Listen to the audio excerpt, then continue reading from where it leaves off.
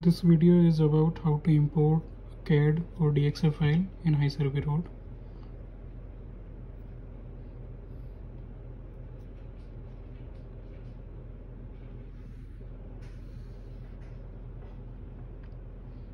Uh, create new file.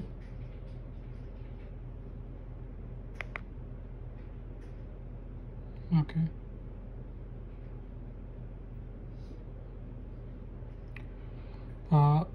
Then project setting